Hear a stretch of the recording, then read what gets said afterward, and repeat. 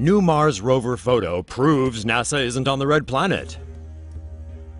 Conspiracy theorists' latest obsession is this image they say proves there is no rover on Mars. The image was taken on September 16th by NASA's Mars rover, which has been exploring the red planet. The photo shows what looks like a snake crawling up a rocky cliff. Wingnuts believe that NASA never sent a rover to Mars and has been sending back images from remote desert regions on Earth. Some believe NASA is sending images from isolated facilities in Nevada, while others have pointed to a remote island in Canada. No theory on why NASA would bother to do this. They say the image shows NASA is slipping up and accidentally capturing wildlife.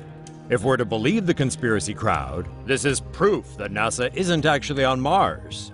Scientists, however, say that Snakegate commenters suffer from pareidolia, when the brain recognizes a familiar pattern or object even though it's not there.